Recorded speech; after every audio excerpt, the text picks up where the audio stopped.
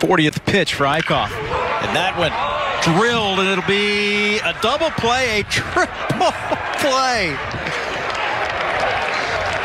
That's how you get out of an inning.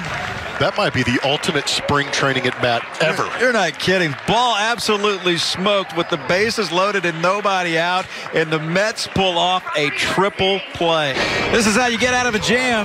That's one, that's two, a triple play. That might have been the greatest spring training at bat of all time. Altuve squaring one up, hitting a rocket. The play over to second base.